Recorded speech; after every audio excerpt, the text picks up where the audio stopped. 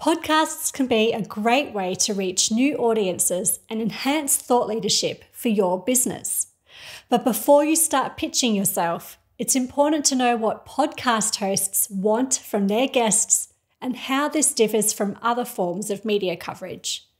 The first thing you should do is research which podcasts are best suited to the topics you want to cover and have an audience that will connect with your brand. You want to make sure that you're investing your time and knowledge in a way that aligns with your brand, so it pays to be selective about which podcasts you pitch to. Podcasting really relies on what you have to say and how well you can say it.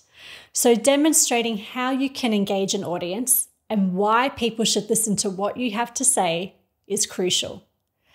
It's also a good idea to tell the podcast host why you think their audience will enjoy your topic of discussion and the expertise you have. Has there been an episode in the past where your topic has been raised without much insight?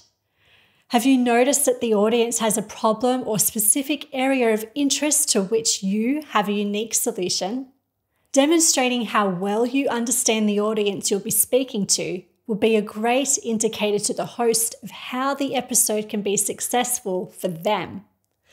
And finally, like any pitching, it can be really helpful to connect and network with podcast producers and hosts over time so you can call upon those relationships when you have a story that you'd like to tell.